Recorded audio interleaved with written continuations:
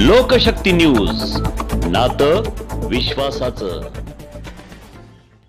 सोलापूर शहरातील मोहोळ शहरासह आसपासच्या परिसरात बिबट्या धुमाकूळ घालत असतानाच गुरुवारी सायंकाळी भोरे या गावातील आबासाहेब साठे यांच्या वस्तीवर बिबट्या शेळ्यांवर हल्ला करण्याच्या तयारीने आला होता.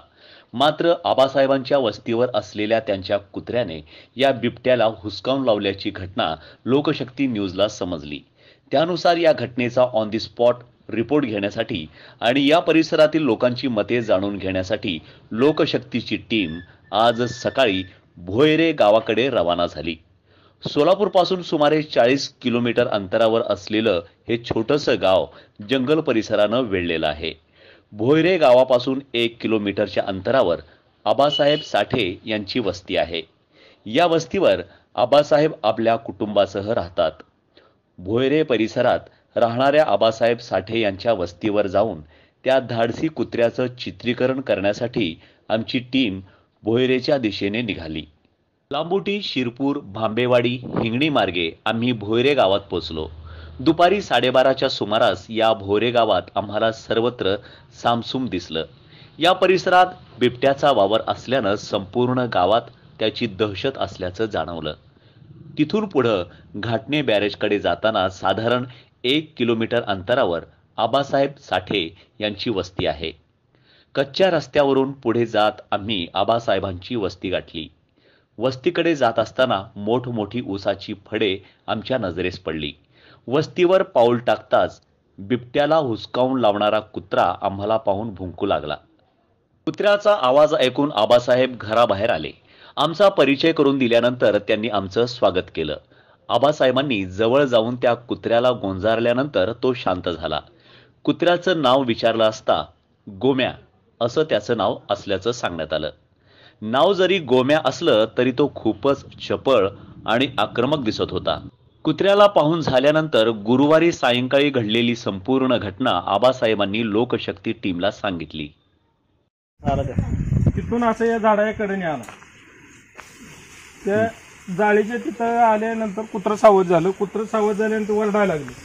वरडायला लागल्यावर आम्ही बाहेर येऊन बघितलं. तर ती त्याच्यावर अं, झेप घेण्याचा प्रयत्न करत होते.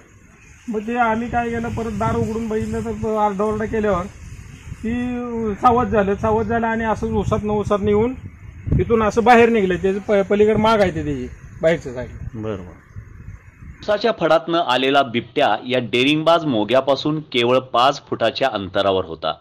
या ठिकाणी या बिबट्याच्या पायाचा ठसा आम्हाला स्पष्ट दिसला. या मागाचा पाठलाग केला असता बिबट्या उसाच्या फडातून हिंगणी गावाकडे पसार झाला असण्याची शक्यता आबासाहेब यांनी वर्तवली. मी आबासाहेब नरसिंगरावसाठी रहिवासी आहे.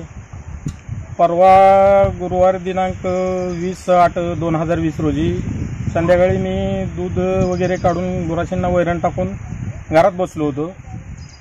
साधारण साडेसातच्या टायमाला बिबट्या कुत्र्याच्या अंगावर चाल करून गेला.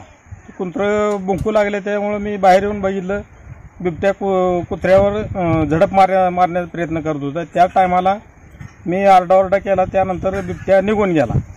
निघून गेल्यानंतर मी गावातल्या पोलीस पाटलांना फोन क- कळवलं गावातली काय अं, मुलं माझ्या मदतीला आली त्यांनी ऑटोमो हे वगैरे आणले होते. ते उडवल्यानंतर बिबट्या माझी वस्ती सोडून गेला. त्याच्यानंतर दुसऱ्या दिवशी म्हणजे शुक्रवारी त्याचा आम्ही अं, पाऊस पाऊस असल्यामुळे माग होती. त्याचं माग काढत काढत अं, गेलो तर ते हिंगणी साईडला अं, त्याचे माग गेलेले असे दिसले. ते मग माझी एवढीच अपेक्षा आहे शेतकऱ्याच्या वतीनं की बाबा हा जो वन्य प्राणी आहे ह्याच्यापासून अं, आता माझ्याकडे गायी आहेत त्या गायी जवळजवळ पन्नास साठ साठ हजार आहे गायी आहेत त्या. त्यां- त्यांना धोका करू शकतो किंवा एखाद्या शेतकऱ्याला जीविताला धोका करू शकतो. शेतकरी उसाईकडे फिरतेत. त्यांना धोका करू शकतो. मग वन विभागाच्या अधिकाऱ्यांनी एवढं करावं त्याच्यावर काहीतरी उपाययोजना करून जेरबंद करावं किंवा काहीतरी त्याच्यावर इलाज करावा एवढीच माझी शेतकरी म्हणून अपेक्षा आहे.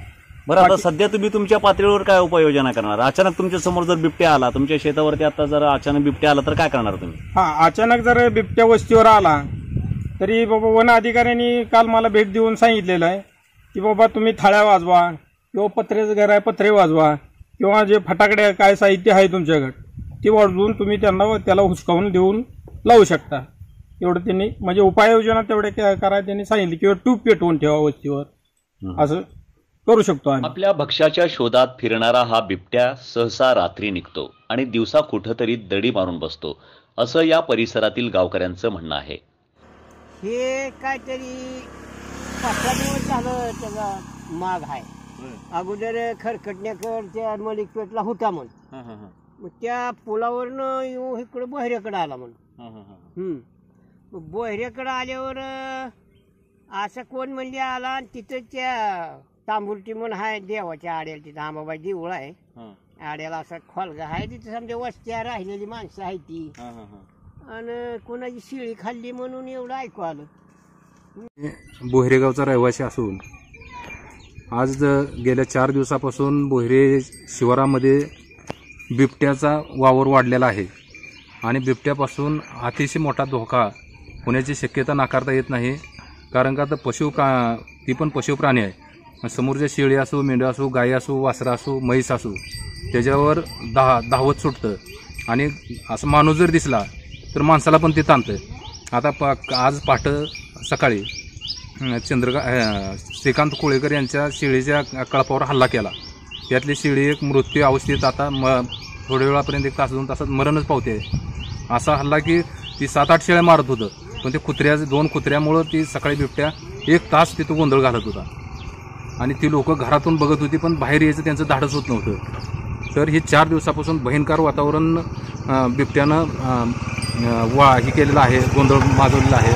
त्यामुळं सदर वन विभागाच्या अधिकाऱ्यांनी वेळेत हस्तक्षेप करून त्याचा बंदोबस्त करावा अशी मी त्यांना विनंती करतो. आणि सर्वसामान्य जनतेला न्याय मिळावा. सर्वसामान्य जनता जी दहशती आहे त्यांना बाहेर काढावं एवढीच मी अपेक्षा व्यक्त करतो. हा बिबट्या आज सकाळी याच परिसरातील कोळेकर वस्तीवर दिसल्याची चर्चा आहे. या वस्तीवर एका शेळीला त्यानं जखमी केल्याचंही सांगण्यात आलं. भोयरे गावाच्या अलीकडे उजव्या बाजूला कोळेकर वस्तीकडे कच्चा रस्ता जातो. येथे कुणी भेटतं का म्हणून आम्ही येथे थांबलो. पण अर्धा तास झाला तरी कोणीच आमच्या नजरेस पडलं नाही. काही असो सध्या मोहोळ शहर आणि आसपासचा परिसर दहशतीखाली असून पाळीव प्राण्यांसह मानवी जीवालाही या नरभक्षी बिबट्यापासून धोका आहे.